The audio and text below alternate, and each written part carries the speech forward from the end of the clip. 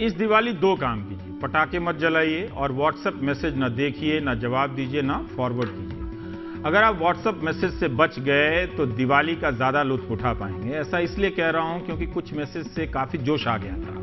लगा कि दिवाली नहीं आ रही है, तूफ़ान आ रहा है। लिखा हुआ था कि कह दो अंधेरों से, कहीं और घर बना ले साहेब, मेरे मुल्क में रोशनी का सैलाब आने वाला है। रिलैक्स सब अच्छा है? एक लखनवी ने जो भेजा है, वो पहले सुनिए। जश्न चरागा के मुकद्दस मौके पर शमीब कल्ब के साथ दिली मुबारकबाद कबूल फरमाएँ। झिलमिलाते हुए चरागे मुतबर्रिक की तजल्ली से आपके दौलत खाने का गोशा गोशा जियाबार हो। दीपावली की पहली मौज देव के साथ आपका दामन, मोहब्बत की खुशबू के एहसास से माला माल हो। बारगाहे सुमादी आपको आसमान की बुलंदियाँ। अता करे तमाम मुबारक। अयम दीपावली महोत्सव भवत भवत परिवार कृते च क्षेम स्थैर्य आयु, आरोग्यम ऐश्वर्य, अभिवृद्धि कारक भवतु अपि च। श्री सदगुरु कृपा प्रसादेन, सकल दुख निवृत्ति, आध्यात्मिकी प्रगति, श्री भगवत प्राप्ति च भवतु इति श्री सदगुरुस्य चरणयो प्रार्थये। शुभम भवतु दीपावल्या, हार्दा शुभाशया। इनका मतलब तो मैसेज में नहीं था, लेकिन अगर आप नहीं जानते हैं तो ऐसे मैसेज के अर्थ ज़रूर पता करें। मगर दिवाली के बाद संस्कृत और उर्दू के कुछ शब्दों के मतलब के भी कुछ मतलब का पता चल जाएगा। कोशिश कीजिए कि ईद हो या दिवाली हो, व्हाट्सएप से दूर रहें। हम समझते हैं कि इसके ज़रिए परंपरा का विस्तार हो रहा है, लेकिन परंपरा का विस्तार तब होगा जब हम फ़ोन छोड़कर परंपरा मनाएँगे। फ़ोन में लगे रहने से परंपरा का नहीं, फ़ोन कंपनी का विस्तार होता है। इसी के साथ देख लेते हैं कि व्हाट्सएप की दुनिया में चुनावी मीम कैसे बनते हैं। जो आता है ना, फ़ोटो व्हाट्सएप करते हैं, उसको मीम कहते हैं। बीजेपी के नेता अटल बिहारी वाजपेयी की कविता का खूब इस्तेमाल कर रहे हैं। पंद्रह साल से जहाँ उनकी सरकार है, वहाँ भी अंधियारा दूर करने के लिए दिया जलाने वाली कविता पढ़ रहे हैं। कविता है, आओ फिर से दिया जलाएँ, भरी दोपहरी में अंधियारा, सूरज परछाई से हारा, अंतर मन का नेह निचोड़े, बुझी हुई बाती सुलगाएँ। आओ फिर से दिया जलाएँ। ये बीजेपी के नेता अपना फ़ोटो लगाकर, चुनाव चिन्ह लगाकर इसको फॉरवर्ड कर रहे हैं। चार नवंबर को बीजेपी ने छत्तीसगढ़ में कमल दिवाली मनाई थी। कमल दिवाली एक नई दिवाली है। एक नई प्रकार की राजनीतिक दिवाली मालूम पड़ती है। पहली बार मनाई गई है या कब से मन रही है, इस पर टिप्पणी ना करते हुए। इस बार की जानकारी यह है कि रात 9 बजे कमल दीपावली का कार्यक्रम शुरू हुआ चार नवंबर को। बीजेपी के नेता, मुख्यमंत्री, उम्मीदवार, घर में या पार्टी के दफ्तर में कमल की रंगोली बनाते दिखे। दिवाली से पहले यानी धनतेरस से पहले ही दिवाली मना ली गई।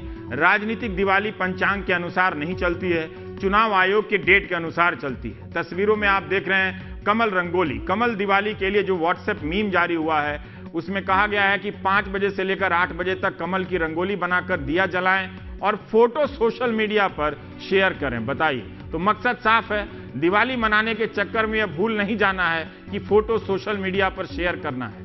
अब यह समझ नहीं आ रहा कि छत्तीसगढ़ के भाजपा नेता और कार्यकर्ताओं ने अगर 4 नवंबर को ही दिवाली मना ली तो लोग 7 नवंबर को क्या करने वाले हैं? देखिए, राष्ट्रीय स्तर पे जो है, भारतीय जनता पार्टी ने सभी राज्यों में जो है 4 नवंबर को कमल दिवाली मनाने का आह्वान किया था। और उस दृष्टि से हमारे प्रदेश प्रभारी डॉक्टर अनिल जैन भी रायपुर में उपस्थित थे।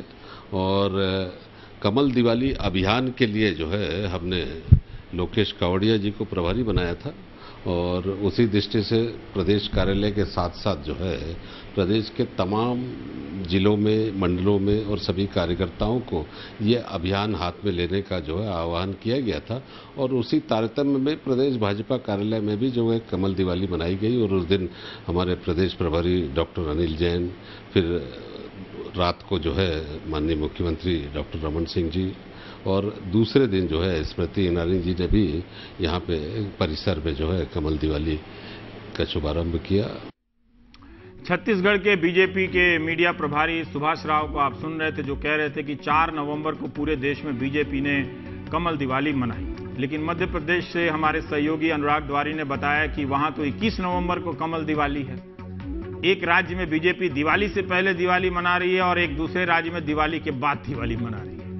पटना से हमारे सहयोगी मनीष कुमार ने बीजेपी के नेताओं से पूछा तो कमल दिवाली मनाने की कोई सूचना नहीं मिली? तो क्या कमल दिवाली चुनावी राज्यों के लिए है?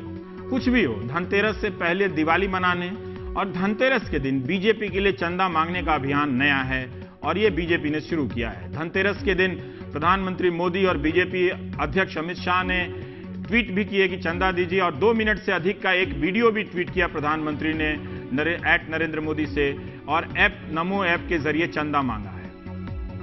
इस गुड़िया लुक गुड़िया इस वीडियो में ये जो पिता है आ, वो अपने बेटे को समझाते हैं कि न्यू इंडिया के लिए चंदा दो। बाद में उनकी माँ भी कहती हैं कि चंदा दिया है। उन्होंने भी चंदा दिया। फिर एक छोटी सी बच्ची चंदा देने की बात पर वाहवाह करती है और अपील करती है कि आप चंदा दें न्यू इंडिया के लिए। इस तरह से न्यू इंडिया के लिए चंदा देना इस विज्ञापन में एक पारिवारिक मामला बन जाता है। फिर प्रधानमंत्री आते हैं और कहते हैं कि मैंने भी एक हज़ार का चंदा दिया है। वीडियो में प्रधानमंत्री खुद कहीं से नहीं कहते कि वे भाजपा के लिए चंदा मांग रहे हैं जबकि प्रधानमंत्री ने इस वीडियो को ट्वीट करते हुए साफ़ साफ़ लिखा है कि बीजेपी के लिए दान दें। एक छोटी सी बच्ची को भाजपा के लिए चंदा मांगने के विज्ञापन में होना चाहिए था या नहीं ये बहस का विषय है। मुख्यमंत्री केजरीवाल तो खुद ही पार्टी के लिए चंदा मांगते हैं तो क्या उनसे सीखा गया है ये मामला? प्रधानमंत्री का यह वीडियो नया नया सा लगता है शायद पहली बार सा। मेरा आप सबसे आग्रह है कि आप सब इस धनतेरस के दिन एक पंद्रह दिन अभियान चलाइए। अधिक से अधिक लोगों से भले पाँच रुपया दे दस रुपया दे लेकिन ये नरेंद्र मोदी ऐप के माध्यम से लोगों को डोनेशन देने की आदत डालिए तो दोस्तों जैसा कि आपने देखा श्री सुनील जी के परिवार में से सबने कुछ न कुछ डोनेट किया। तो आप इस नंबर पर मिस कॉल देकर नरेंद्र मोदी ऐप डाउनलोड कीजिए और न्यू इंडिया बनाने में हमारा सहयोग दें। हैप्पी दिवाली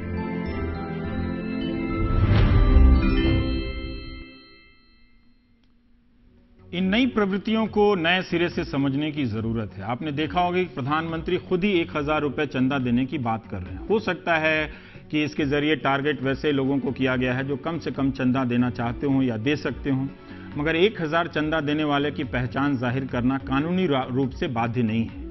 2016-17 के रिकॉर्ड के अनुसार देखिए तो बीस हज़ार से ऊपर के दान के रूप में सभी पार्टियों को कुल पाँच करोड़ रुपए मिलते हैं। इनमें से 532.27 लाख 532 करोड़ रुपए सिर्फ़ बीजेपी को मिले अकेले। कांग्रेस को दूसरी जो बड़ी पार्टी है, उसको 41 करोड़ रुपए मिलते हैं। करीब करीब 42 करोड़ है इस तरह से दान में। तो बीस हज़ार रुपए से ज़्यादा दान देने वालों का नाम बताना ज़रूरी है। कम होगा तो नाम बताना ज़रूरी नहीं है। सरकार ने एक नया कानून बनाया है जिसके तहत आप कभी नहीं जान पाएँगे कि राजनीतिक दलों को चंदा किसने दिया है। इलेक्टोरल इलेक्टोरल ट्रस्ट का नाम सुना ही होगा आपने। ये ट्रस्ट वो नॉन प्रॉफिट कंपनियाँ बनाती हैं जिनके ज़रिए कॉरपोरेट या व्यक्ति राजनीतिक दलों को दान दे सकता है। इन ट्रस्ट को अपनी आय का हर साल इलेक्शन कमीशन के सामने डिक्लेरेशन करना होगा। आप नहीं जान, पा, जान पाएँगे कि किस कॉरपोरेट कंपनी ने किस पार्टी को कितना चंदा दिया। इलेक्टोरल ट्रस्ट को हर साल अपनी आय का पंचानवे फ़ीसदी रजिस्टर राजनीतिक पार्टियों को देना होगा। पंचानवे प्रतिशत जो रजिस्टर पंजीकृत राजनीतिक पार्टियाँ हैं, उसको वो चंदा दे सकते हैं। 2016-17 में इलेक्टोरल ट्रस्ट के ज़रिए जो कुल कॉरपोरेट दान राजनीतिक पार्टियों को मिला है, उसका नवासी दशमलव दो दो प्रतिशत अकेले बीजेपी के हिस्से में गया है।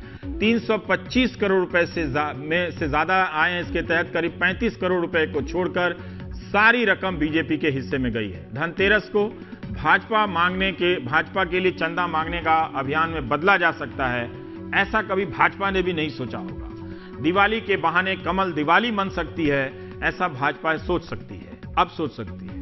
व्हाट्सएप मैसेज की दुनिया में कांग्रेस कैसे दिवाली मना रही है तो हमने कई कांग्रेसी नेताओं के मैसेज भी देखे, उनमें वो खास बात नहीं थी कि जिनका ज़िक्र यहाँ पर किया जाए। काफ़ी साधारण और सरल तरीके के थे।